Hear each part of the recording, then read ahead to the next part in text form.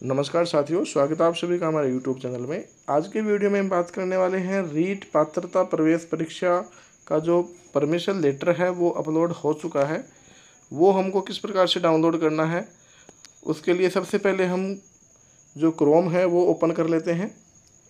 उसके पश्चात जो बी एस ई आर की जो साइट है, उसके ऊपर क्लिक कर देते हैं और वहाँ से जो मेन साइट है रीट की, वहाँ क्लिक कर देते हैं और वहाँ हमको दिखाई देता है जो एडमिट कार्ड है, उसका लिंक तो यहाँ पर हम रजिस्ट्रेशन नंबर और जन्म की तारीख और महीना और ईयर सेलेक्ट करके हम डालेंगे कैप्चा कोड डालेंगे। उसके बाद में जो परमिशन लेटर हमारे सामने डाउनलोड होगा, वो कुछ इस प्रकार से हमको शो करेगा।